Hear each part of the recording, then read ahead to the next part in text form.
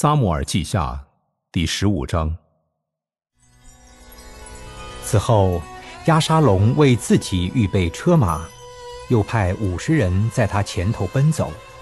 亚沙龙常常早晨起来，站在城门的道旁，凡有争讼要去求王判断的，亚沙龙就叫他过来，问他说：“你是哪一城的人？”仆人是以色列某支派的人。亚沙龙对他说：“你的事有情有理，无奈王没有伟人听你申诉，恨不得我做国中的士师。凡有争讼求审判的，到我这里来，我必秉公判断。若有人进前来要拜亚沙龙，亚沙龙就伸手拉住他，与他亲嘴。以色列人中。”凡去见王求判断的，亚沙龙都是如此待他们。这样，亚沙龙暗中得了以色列人的心。满了四十年，亚沙龙对王说：“求你容我往希伯伦去，还我向耶和华所许的愿。因为仆人住在亚兰的基数曾许愿说。”耶和华若使我再回耶路撒冷，我必侍奉他。你平平安安的去吧。亚沙龙就起身往希伯伦去了。亚沙龙打发探子走遍以色列各支派。你们一听见脚声，就说：“亚沙龙在希伯伦做王了。”亚沙龙在耶路撒冷。请了二百人与他同去，都是诚诚实实去的，并不知道其中的真情。亚沙龙献祭的时候，打发人去将大卫的谋士基罗人亚西多福从他本城请了来。于是叛逆的事派甚大，因为随从亚沙龙的人民日渐增多。有人报告大卫，以色列人的心都归向亚沙龙了。大卫就对耶路撒冷跟随他的臣仆说：“我们要起来逃走，不然都不能躲避亚沙龙了。要速速的去，恐怕他忽然来到，加害于我们，用刀杀尽合成的人。我主我王所定的，仆人都愿遵行。”于是，王带着全家的人出去了，但留下十个妃嫔看守宫殿。王出去，众民都跟随他，到伯莫哈就住下了。王的臣仆都在他面前过去。基利提人、比利提人，就是从加特跟随王来的六百人，也都在他面前过去。王对加特人以太说：“你是外邦逃来的人，为什么与我们同去呢？你可以回去与新王同住，或者回你本地去吧。你来的日子不多，我今日怎好叫你与我们一同漂流，没有一定的住处呢？你不如带你的弟兄回去吧。愿耶和华用慈爱、诚实待你。”我指着永生的耶和华起誓，又敢在王面前起誓，无论生死，王在哪里，仆人也必在那里。你前去过河吧。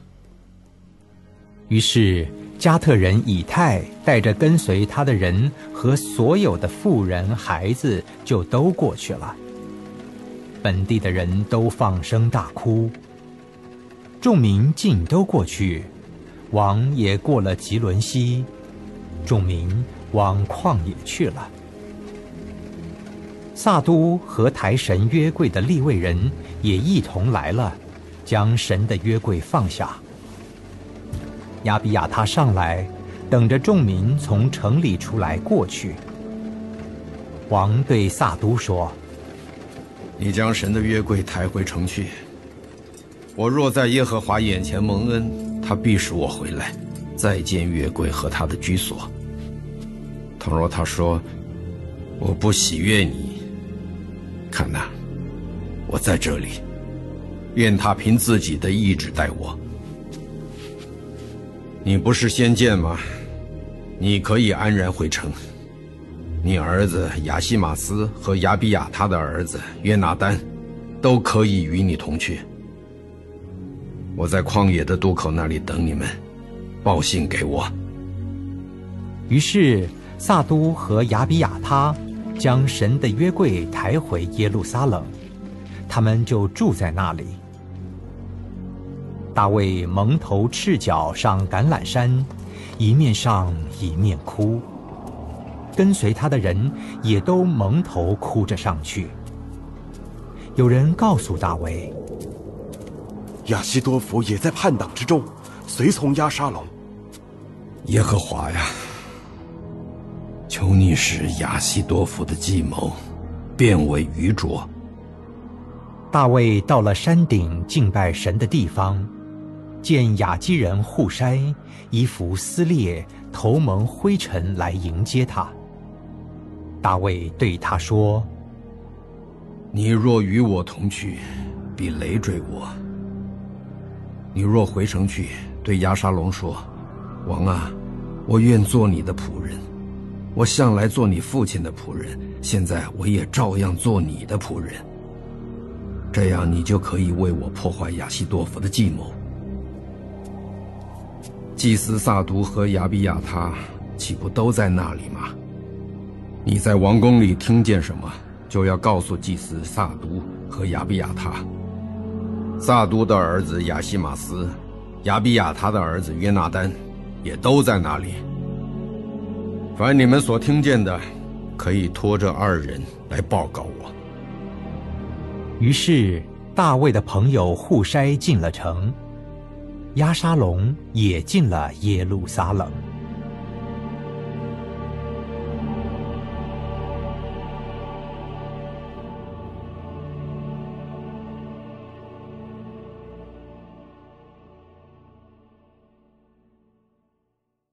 撒母耳记下第十六章。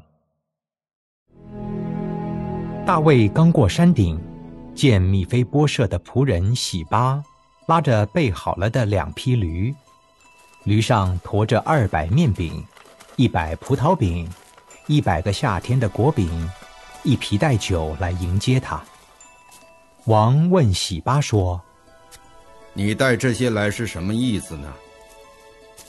驴是给王的家眷骑的，面饼和夏天的果饼是给少年人吃的，酒是给在旷野疲乏人喝的。你主人的儿子在哪里呢？喜巴回答王说：“他仍在耶路撒冷，因他说以色列人今日必将我父的国归还我。凡属米非波设的都归你了。我叩拜我主我王。”愿我在你眼前蒙恩。大卫王到了巴户林，见有一个人出来，是扫罗族基拉的儿子，名叫世美。他一面走一面咒骂，又拿石头砍大卫王和王的臣仆，众民和勇士都在王的左右。世美咒骂说：“你这流人血的坏人呐，去吧！”去吧！你流扫罗全家的血，接续他做王。耶和华把这罪归在你身上，将这国交给你儿子亚沙龙。现在你自取其祸，因为你是流人血的人。希鲁雅的儿子亚比筛对王说：“这死狗岂可咒骂我主我王呢？”求你容我过去，割下他的头来。吉鲁亚的儿子，我与你们有何关涉呢？他咒骂是因耶和华吩咐他说：“你要咒骂大卫。”如此，谁敢说你为什么这样行呢？我亲生的儿子尚且寻索我的性命，何况这变雅敏人呢？由他咒骂吧，因为这是耶和华吩咐他的。或者耶和华见我遭难，为我今日被这人咒骂，就施恩于我。于是大卫和跟随他的人往前行走。世美在大卫对面山坡，一面行走，一面咒骂，又拿石头砍他，拿土扬他。王和跟随他的众人疲疲乏乏的到了一个地方，就在那里歇息歇息。亚沙龙和以色列众人来到耶路撒冷，亚西多福也与他同来。大卫的朋友雅基人户筛去见亚沙龙，对他说：“愿王万岁！愿王万岁！”亚沙龙问户筛说：“这是你恩待朋友吗？为什么不与你的朋友同去呢？”不然。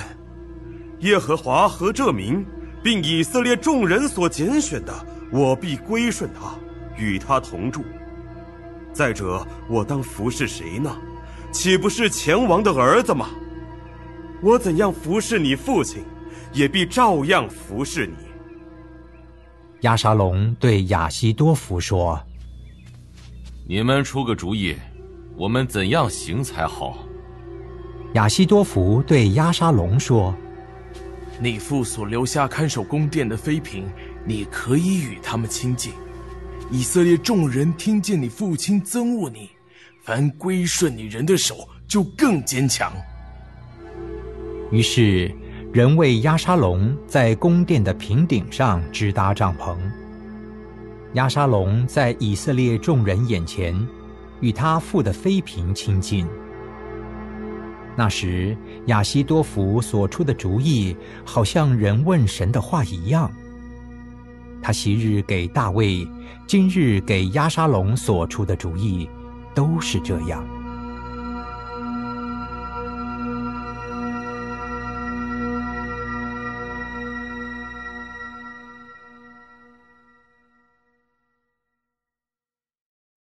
加拉太书第四章。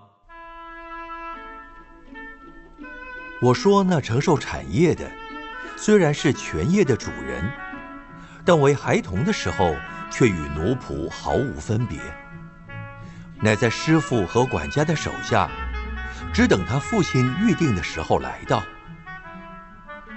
我们为孩童的时候，受管于世俗小学之下，也是如此。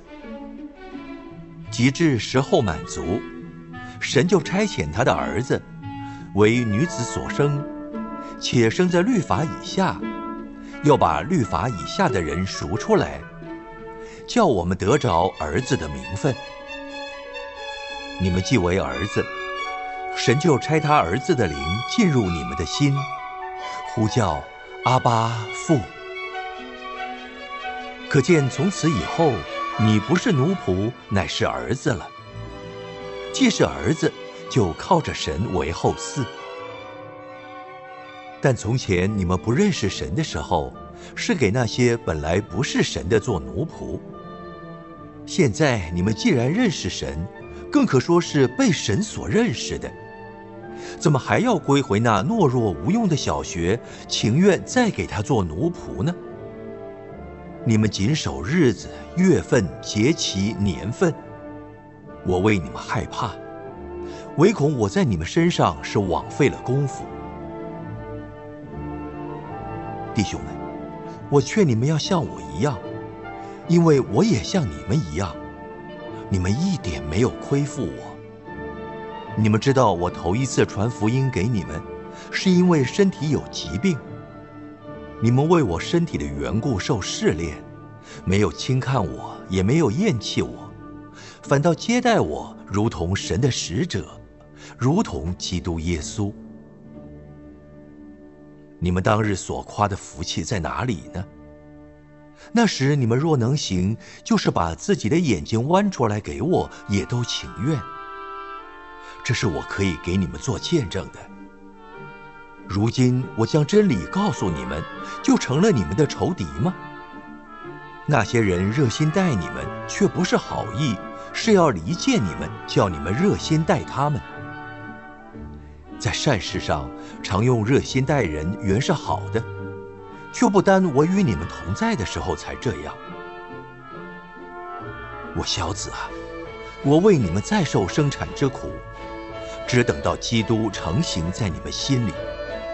我巴不得现今在你们那里改换口气，因我为你们心里作难。你们这愿意在律法以下的人，请告诉我，你们岂没有听见律法吗？因为律法上记着，亚伯拉罕有两个儿子，一个是使女生的，一个是自主之妇人生的。然而，那使女所生的是按着血气生的，那自主之妇人所生的是凭着应许生的。这都是比方。那两个妇人就是两约，一约是出于西乃山，生子为奴，乃是夏甲。这夏甲二字是指着亚拉伯的西乃山，与现在的耶路撒冷同类。因耶路撒冷和他的儿女都是为奴的，但那在上的耶路撒冷是自主的，他是我们的母。因为经上记着。不怀孕不生养的，你要欢乐；未曾经过产难的，你要高声欢呼，因为没有丈夫的，比有丈夫的儿女更多。弟兄们，我们是凭着应许做儿女，如同以撒一样。当时那按着血气生的，逼迫了那按着圣灵生的，现在也是这样。然而经上是怎么说的呢？是说，把使女和她儿子赶出去，因为使女的儿子不可与自主妇人的儿子一同承受产业。弟兄们，这样看来，我们不是使女的儿女，乃是自主妇人的儿女了。